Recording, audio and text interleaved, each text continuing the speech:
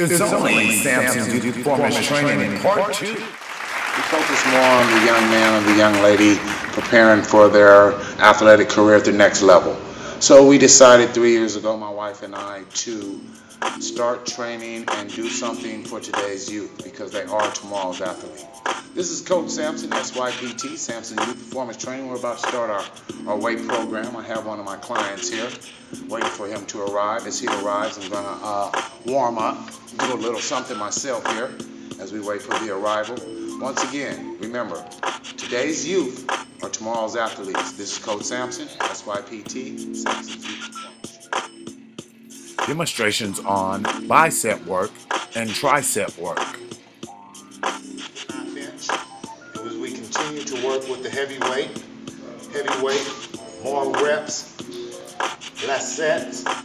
For lightweight and cutting, you use light weights with more reps. This is Coach Sampson, SYPT, Sampson Youth 53 year old personal trainer Coach Sampson illustrates and demonstrates proper form and technique when working the upper body.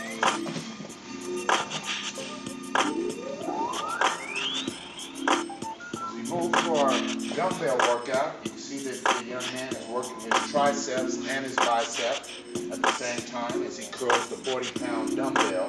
The 40 pound dumbbell is good and consistent for muscle mass, tearing the proper tissues as he works with the 40 pound weight. To work the see the isolated muscle in the forearm, the upper body, and the.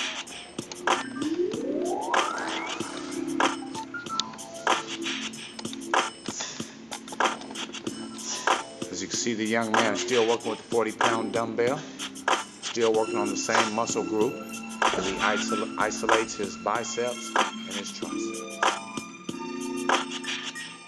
This is a fantastic drill for running backs, wide receivers, linebackers, and defensive backs. It strengthens your grip.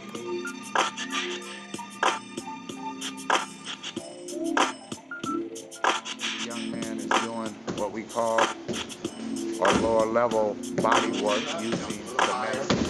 A little faster as he's working his lower extremities, his quads, his hamstrings, and his calves. Stays on his toes for good mobility good balance and good stabilization. As you can see, we've moved outside to the stair workouts. We're working in the bleachers today. We're going to do a little stair work. Still working on the lower body as we're doing our scissors into our frog hops, what we call them here at SYPT. This is good for endurance also.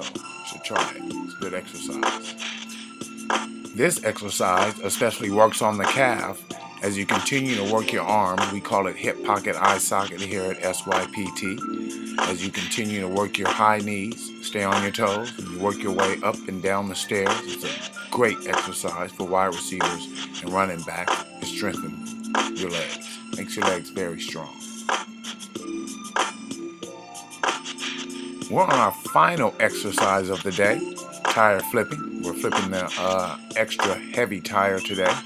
The young man have a choice between uh, extra heavy, heavy, light, and medium light. The young man chose the more heavier tire to end today's exercises with. This exercise helps you with your calves, your hamstrings, your quads.